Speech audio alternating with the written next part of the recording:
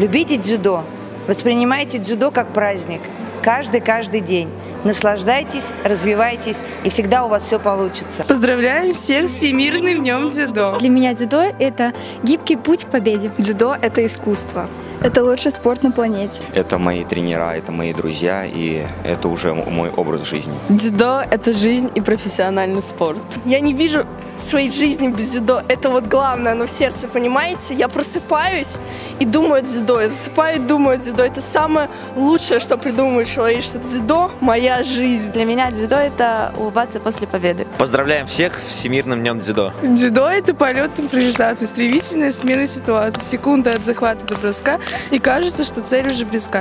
Но твой соперник в это же мгновение уходит из защиты в нападение, один неверный шаг и рушится твой трон, когда ты улетаешь на япон.